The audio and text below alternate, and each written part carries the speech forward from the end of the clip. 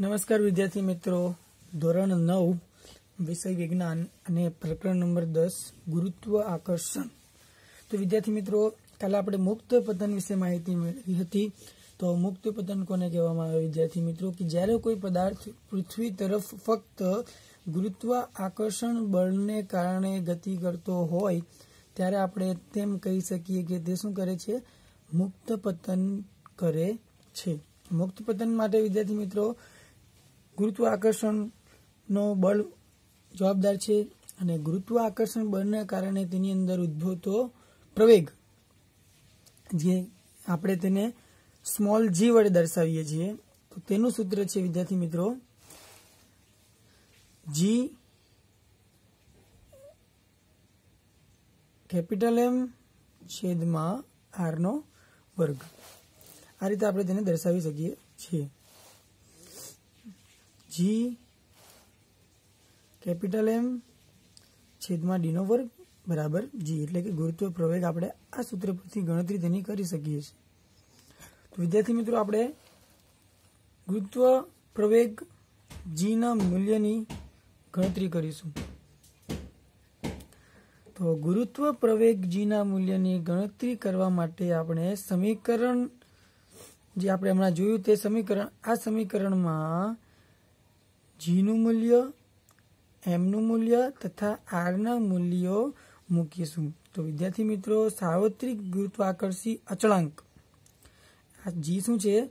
ગુરુત્વાકર્ષણનો અચળાંક છે. જીનું મૂલ્ય છ પોઈન્ટ સાત ગુણ્યા દસની માઇનસ અગિયાર ઘાત ન્યૂટન ઇન્ટુ મીટરનો વર્ગ છેદમાં કિલોગ્રામનો વર્ગ. આ મૂલ્ય સાર્વત્રિક અચળાંક, જીનું મૂલ્ય આપણને મેળવેલું હોય છે અને આટલું તેનું મૂલ્ય હોય છે.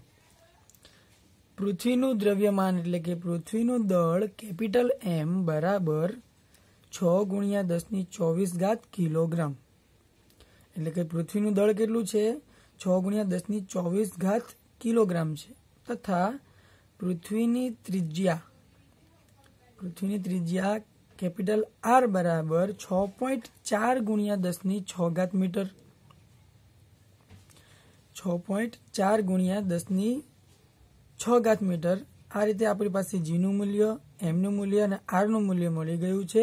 એટલે આ ત્રણે ત્રણ રાશિનું મૂલ્ય આપણે અહીં સમીકરણમાં મૂકીશું. તો સૌથી પહેલા આપણે જીનું મૂલ્ય મૂકીએ તો છ પોઈન્ટ સાત ગુણ્યા દસની માઇનસ અગિયાર ઘાત newton into metre square into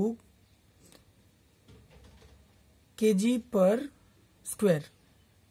Newton into metre square છેદમાં કેજીનો વર્ગ. અહીં માઇનસ બે ઘાત છે એટલે કે આ માઇનસ બે ઘાત છેદમાં આવશે એટલે કે કેજીનો વર્ગ થશે.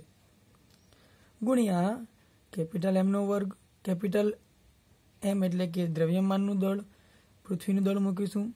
છ ગુણ્યા દસની ચોવીસ ઘાત, પૃથ્વીનું દળ કેટલું છે? છ ગુણ્યા દસની ચોવીસ ઘાત કેજી.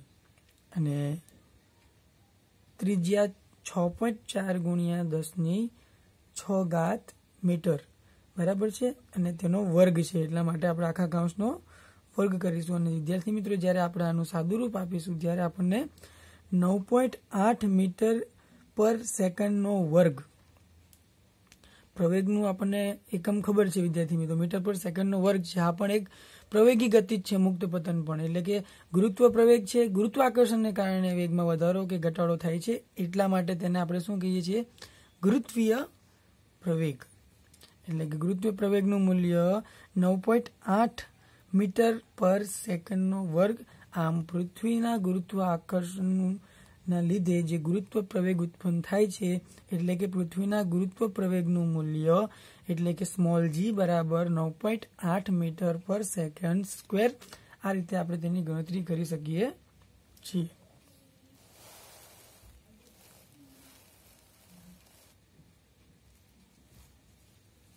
હવે વિદ્યાર્થી મિત્રો, આપણે પૃથ્વીના ગુરુત્વ આકર્ષણ બળની હેઠળ પદાર્થોની ગતિ વિશે થોડીક માહિતી મેળવીશું.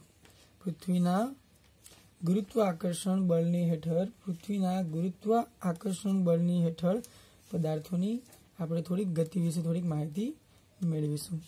તો શું બધા જ પદાર્થો, શું બધા જ પદાર્થો પોલા કે નક્કર, મોટા કે નાના કોઈ ઊંચાઈ પરથી સમાન દરથી નીચે પડે છે?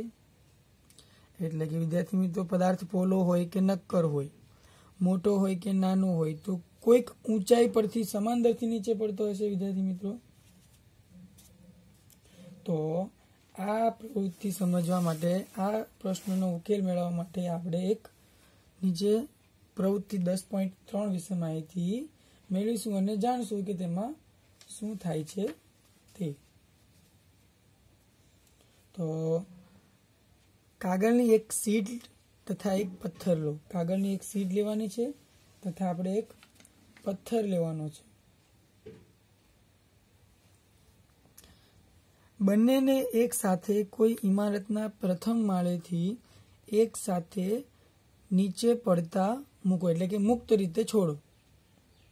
એટલે તેના પર કોઈ બાહ્ય બળ લગાવવાનું નથી. ફક્ત આપણે અમુક ઊંચાઈથી તેને છોડી દેવાનું છે.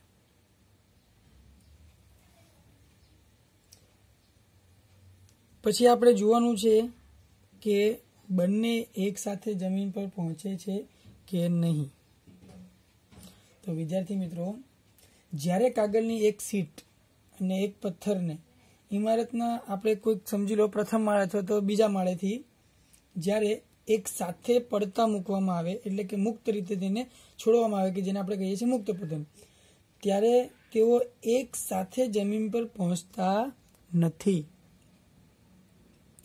કારણ કે કાગળની સીટ અને પથ્થર બંનેનું હવાનું તેના પર શું છે? અવરોધ લાગે છે. કાગળ પર અને પથ્થર પર શું છે? હવાનું તેના પર અવરોધક બળ એક સરખું લાગતું નથી. કાગળની સીટનું ક્ષેત્રફળ વધારે હોય છે. તેથી તેના પર પથ્થર કરતાં વધુ પ્રમાણમાં અવરોધક બળ એટલે કે ઘર્ષણ બળ લાગે છે. તેથી તેની ગતિ અવરોધાય છે. ઘર્ષણ બળ હંમેશા ગતિનો વિરોધ કરે છે. એટલે કે કાગળ થોડોક મોડો પહોંચે છે અને પથ્થર તેના કરતાં પહેલા પહોંચે છે. પરંતુ જો શૂન્ય અવકાશિત કરેલા કાચના વાસણમાં આ પ્રવૃત્તિ કરવામાં આવે, શૂન્ય અવકાશ એટલે કે ત્યાં કોઈ વાતાવરણ ન હોય, જો ત્યાં કોઈક વાતાવરણ ન હોય ને તેને જો વિદ્યાર્થી મિત્રો કાગળને અને પથ્થરને બેને સાથે છોડવામાં આવે તો વિદ્યાર્થી મિત્રો તે એક સાથે તળિયે પહોંચે છે. શૂન્ય અવકાશ એટલે કે ત્યાં કોઈ પણ પ્રકારનું વાતાવરણ હોય નહીં. એટલે ત્યાં કોઈ પ્રકારનું ઘર્ષણ બળ, ત્યાં હવા જ નહીં હોય એટલે તેના પર કોઈ ઘર્ષણ બળ લાગશે નહીં. તેથી તે બંને પદાર્થ એક સાથે નીચે પડશે. પરંતુ અહીં આપણે જ્યારે પહેલા માળેથી નીચે છોડીએ છીએ, બીજા માળેથી જ્યારે પથ્થરને કાગળને નીચેની તરફ મુક્ત પતન કરાવીએ છીએ, ત્યારે તેના પર હવાનું ઘર્ષણ બળ લાગે છે. હવે ઘર્ષણ બળ સપાટી વધતા ઘર્ષણ બળ વધે છે. તેથી કાગળની સપાટી વધારે છે તેથી તેના પર ઘર્ષણ બળ વધારે લાગે છે. તેથી તે થોડુંક મોડું પહોંચે છે. આ રીતે આપણે સમજી શકીએ છીએ કે ગુરુત્વાકર્ષણ બળ તેના પર ઘર્ષણ બળ પણ તેના પર શું છે? વિદ્યાર્થી મિત્રો, અસર કરતું હોય છે. આમ, આપણે જાણીએ છીએ કે મુક્ત પતનમાં પદાર્થનો પ્રવેગ અનુભવ કરે છે. મુક્ત પતન જ્યારે થાય છે, ત્યારે ગુરુત્વાકર્ષણને કારણે તેની ગતિમાં સતત વધારો થતો હોય છે. પદાર્થ દ્વારા અનુભવાતો પ્રવેગ તેના દ્રવ્યમાન પર આધાર રાખતો નથી. પદાર્થ દ્વારા અનુભવાતો પ્રવેગ તેના દ્રવ્યમાન પર આધાર રાખતો નથી. એનો અર્થ એ થયો કે પદાર્થ પોલો હોય, નક્કર હોય કે મોટો હોય કે નાનો હોય, તે એક સરખા દરથી નીચે તરફ પડતો જોઈએ. એક વાર્તા મુજબ, આ વિચારના સમર્થન માટે ગેલેલિયોએ ઇટાલીમાં આવેલા પીસાના ઢળતા મિનારા પરથી જુદા જુદા પદાર્થોને પડતા મૂક્યા હતા અને તેના પરથી તેમણે આ તારણ કાઢ્યું હતું. હવે વિદ્યાર્થી મિત્રો, પૃથ્વીની નજીક જીનું મૂલ્ય એટલે કે પૃથ્વીની નજીક ગુરુત્વ પ્રવેગનું મૂલ્ય અચળ હોવાથી અચળ પ્રવેગી ગતિના સમીકરણોમાં પ્રવેગ એના બદલે જી મૂકવાથી દરેક સમીકરણો આપણને માન્ય મળશે. આપણી પાસે વિદ્યાર્થી મિત્રો અચળ પ્રવેગી ગતિના સૂત્રો છે કે વી બરાબર યુ પ્લસ એટી પછી એસ બરાબર u t plus one half a t square ને વી સ્ક્વેર બરાબર યુનો વર્ગ વત્તા ટુ એ એસ. આપણી પાસે આ અચળ પ્રવેગી ગતિના સમીકરણો છે અને આ સમીકરણોમાં વિદ્યાર્થી મિત્રો પ્રવેગ એની જગ્યાએ આપણે જ્યારે જી મૂકી દઈશું, કારણ કે અહીં ગુરુત્વીય પ્રવેગ લાગે છે, તો આપણને વિદ્યાર્થી મિત્રો તેના પણ અચળ ગુરુત્વ પ્રવેગી ગતિના સમીકરણો મળશે. તો તે કઈ રીતે થશે વિદ્યાર્થી મિત્રો? વી બરાબર યુ પ્લસ જીટી અહીંયા એટીની જગ્યાએ શું થઈ જશે? જીટી ને એસ બરાબર u t plus one half જીટીનો વર્ગ. ને વી સ્ક્વેર બરાબર u square plus two a s થઈ જાય. તો વિદ્યાર્થી મિત્રો, આપણે જોઈએ અહીંયા. તો આપણે અહીંયા શું થઈ જશે? વી બરાબર યુ પ્લસ જીટી ને એસ એટલે કે સ્થાનાંતર બરાબર u t plus one half જીટીનો વર્ગ. અને વી સ્ક્વેર બરાબર u square plus two g t આપણે ફક્ત જીનું મૂલ્ય બદલવાનું છે, કારણ કે પ્રવેગની જગ્યાએ અહીં શું છે? ગુરુત્વ પ્રવેગ જ્યાં યુ તથા વી અનુક્રમે યુ એટલે કે પ્રારંભિક, તેમજ વી એટલે કે અંતિમ વેગ. તથા એસ વસ્તુ દ્વારા ટી સમયમાં કપેલ અંતર એટલે કે સ્થાનાંતર છે. આ સમીકરણમાં આપણે જીનું મૂલ્ય મૂકી દઈશું. એટલે કે આપણને વિદ્યાર્થી મિત્રો શું મળશે? અચળ ગુરુત્વ પ્રવેગી ગતિના સમીકરણો મળશે. અને આ સમીકરણના ઉપયોગના વખતે જો પ્રવેગ એને વેગની દિશામાં, જો વેગ જે બાજુ હોય તે દિશામાં જો પ્રવેગ વધતો હોય, ગુરુત્વ પ્રવેગ તો ગતિની દિશા ધન લઈશું અને જો પ્રવેગ ગતિની વિરુદ્ધ દિશામાં હોય તો ઋણ લઈશું. એટલે કે પ્રવેગી ગતિમાં ધન લઈશું અને પ્રતિપ્રવેગીમાં ઋણ લેવામાં આવે છે. આ રીતે વિદ્યાર્થીની તો આપણે અચળ ગુરુત્વ પ્રવેગી ગતિના સમીકરણો પરથી પણ આપણે વેગ શોધી શકીએ છીએ, સ્થાનાંતર શોધી શકીએ છીએ.